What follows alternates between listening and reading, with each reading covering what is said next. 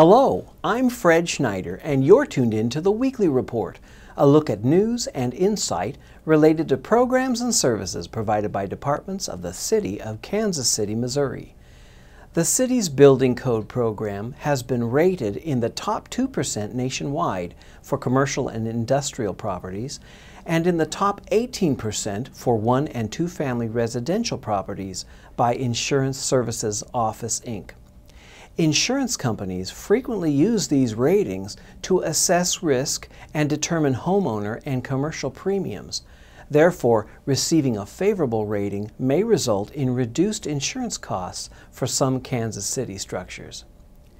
City crews are installing 352 lane miles of bike routes, as well as share the road signs throughout Kansas City's residential streets. The signage will not only guide cyclists as they travel, but also help identify which streets are bicycle friendly. To learn more about Kansas City's bike system, visit kcmo.org slash bikekc. Now let's check in with some of our city's departments for information and insight.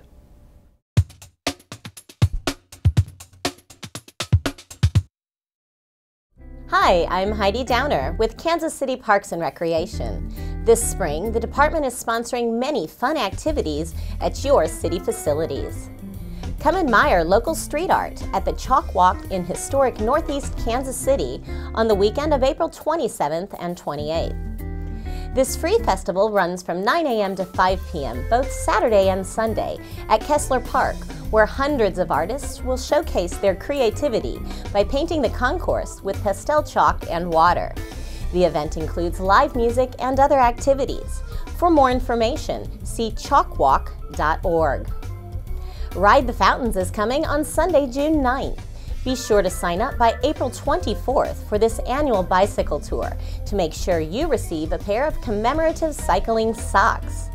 This year's ride around the city's beautiful fountains and historic landmarks begins at 8 a.m. at Union Station. Plan to stay afterwards for a special 40th anniversary of the City of Fountains Foundation with live music, food trucks, a photo booth, and more. Register now at ridethefountains.com. Get on board Saturday, May 11th for a double celebration of National Train Day and the 20th anniversary of the Kansas City Northern Miniature Railroad at Frank Vaydik Park, located at Northwest 60th Street and Waukomis Drive. The fun begins at noon with live music, face painting, and the Zoomobile. There will also be two for one ice skating at Line Creek Ice Arena from 2 to 4 p.m. Details are at kcparks.org or kcnrr.com. To learn more about other events scheduled by Parks and Recreation, visit the department's website at kcparks.org or give us a call at 816 513 7500.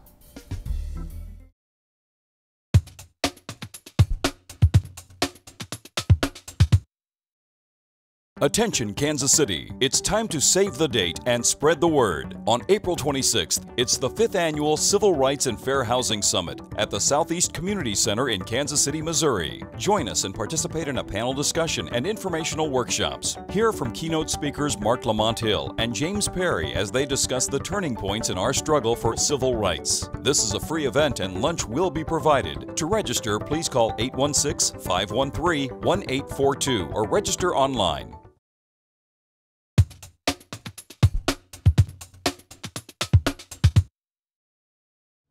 The itchy, watery eyes, the runny nose, the sneezing means allergy season has hit Kansas City. Here at the health department, we have some information on allergies and some tips for decreasing the symptoms. An allergy is characterized by an overreaction of the body's immune system to a foreign substance called an allergen that can be eaten, inhaled into the lungs, um, touched, or um, injected.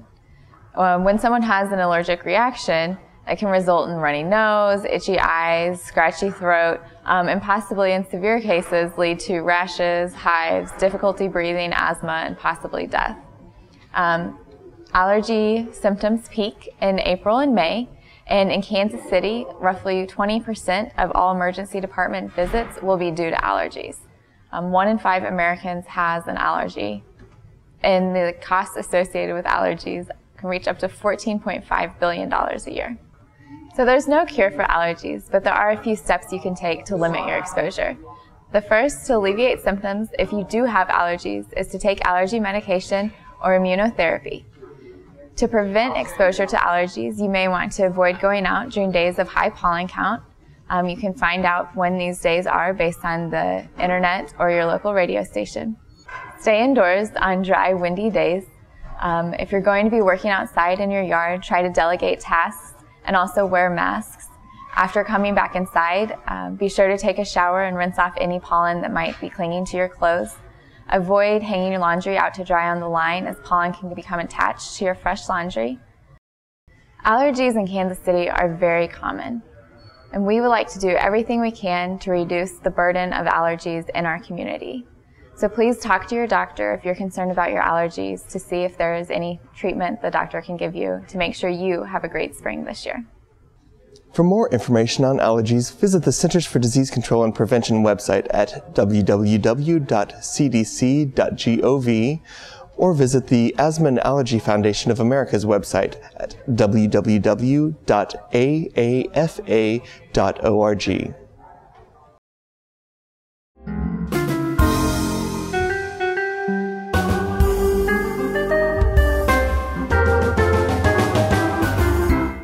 Did you know that you can receive free notifications concerning road closures, water main breaks, or other important information from the city?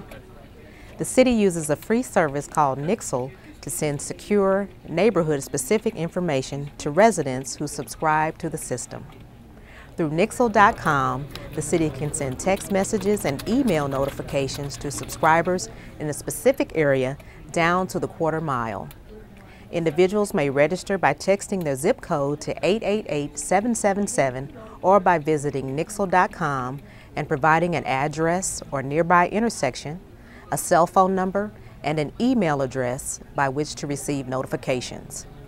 For individuals who subscribe online, more personalizing options are available, allowing subscribers to specify what types of alerts they'll receive from which local agencies. Typical information sent to subscribers from the City of Kansas City may include alerts, which are sent for urgent matters that could adversely affect life and property, such as boil orders and health pandemics. Advisories are sent to residents in a specific geographic area regarding such things as water main breaks, major road closures, snow ordinances, and unscheduled city office closures.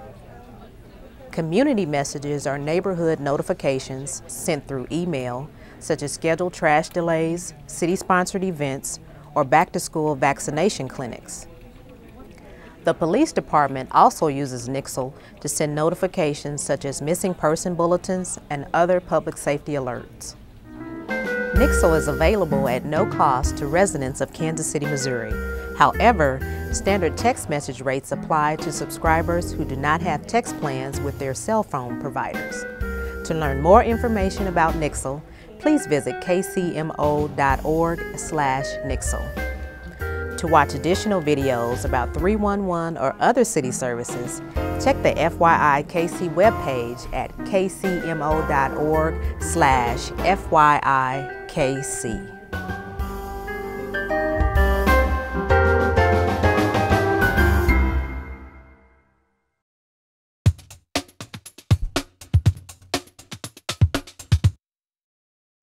the past year, our area has endured several pedestrian fatalities on the interstates that could have been avoided. With the longer daylight hours and warmer weather, more people are outside, walking, jogging, etc. With some sound advice, here is MoDOT's Incident Management Coordinator, Rusty James. Now, we have had a number of incidents in the Kansas City area in the past winter and even in, in times when weather is good where people have gotten out of their cars when it's either broken down or they've been involved in a crash or some other incident and they have been struck by vehicles while they were outside their car. If you have a problem with your car, whether it's you're involved in a crash or it's broken down or it's a weather related issue, you need to make a determination yourself. Is am I safer in my car or would I be safer getting out of my car? The vast majority of the times we have found that people would be safer staying inside their car. It does provide some protection. But if you determine that it's safer for you to get outside your car, what we would ask is that you get as far away from your car as you can and get behind a barrier. If, and when you do have a problem with your car, again, whether it's a crash or a breakdown, if you'll just call 911 and tell the dispatcher that you need some assistance from Motorist Assist, they'll dispatch one of the MoDOT Motorist Assist units to you as quickly as possible, and they can come out and help you with whatever the problem is and provide safe traffic control. And if you do need the assistance of the MoDOT Motorist Assist units, there's never any charge for that. We come out and assist whether we change a tire, maybe do some minor mechanical repairs, give you a little gasoline. Sometimes we push the cars. We do whatever we can to get you back on the road again, and there will never be a charge for our assistance.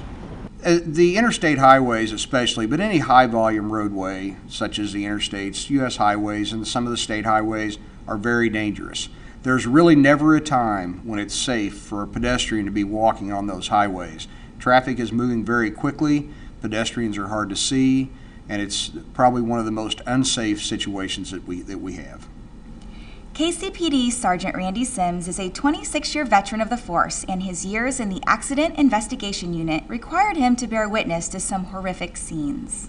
I spent 10 years in our Accident Investigation Unit and was involved in investigating over 400 fatality accidents. Unfortunately, several of those included uh, pedestrians uh, walking on the side of the road.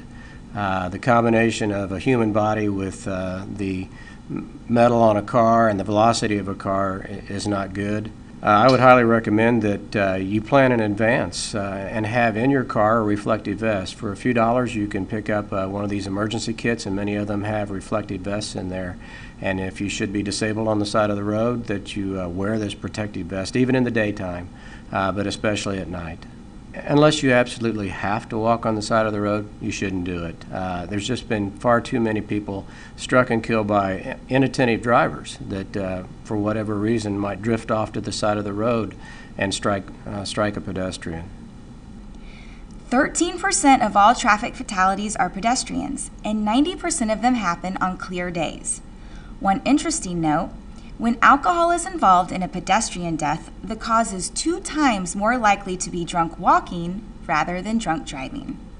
I'm Officer Shelley Gaddis. Please drive safe.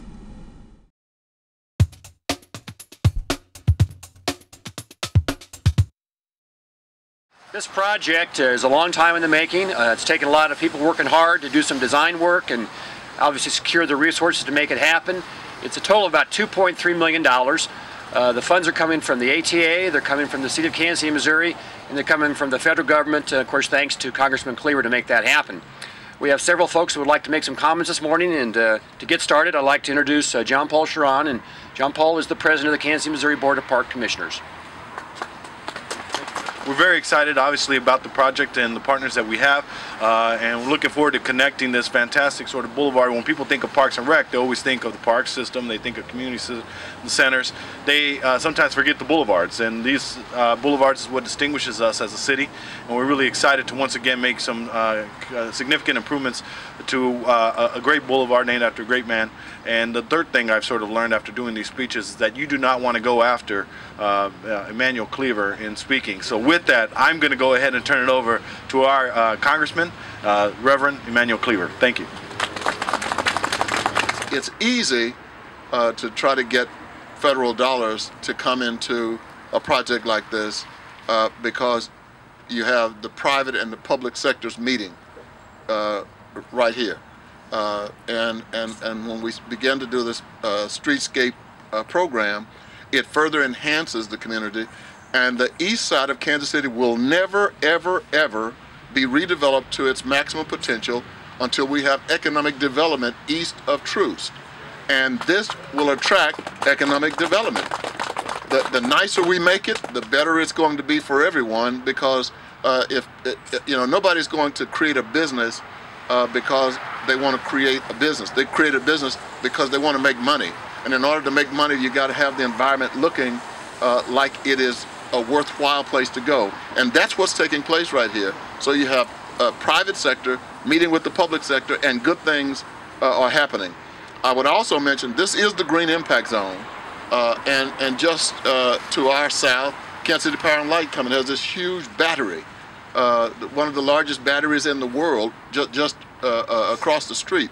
And so good things are happening here. Not far from here, uh, we Make It Right is, is, is rebuilding a, an old rundown school. and, and that's going to be helpful. And we got we have our council people here, Councilwoman Melba Curls third district, Councilman Jermaine Reed, and right down the street is a, a church uh, pastored by Councilman uh, Brooks, Michael Brooks. And so we, we, when you get all of us together, I mean, we're not bickering and fighting and uh, trying to uh, shut down the government. We're, we're trying to make a community work. And that's the beauty of, of, of our community right now. So I'm very thankful uh, and pleased uh, that this is actually an old earmark but I want to make sure everybody understands I'm not opposed to getting new earmarks. And I believe at this point it's time to uh, break some ground or shovel some dirt, kind of head that direction. All right, one, two, three.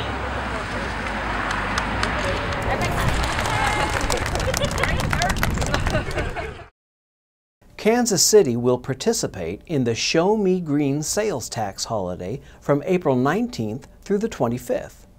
During this week, state and city sales tax will be eliminated from Energy Star qualified appliances purchased in Kansas City, Missouri. In addition, county tax will be eliminated from appliances purchased in the Clay, Platte, and Cass County areas of Kansas City. Eligible appliances valued at $1,500 or less include washers, dryers, refrigerators, and dishwashers, among others.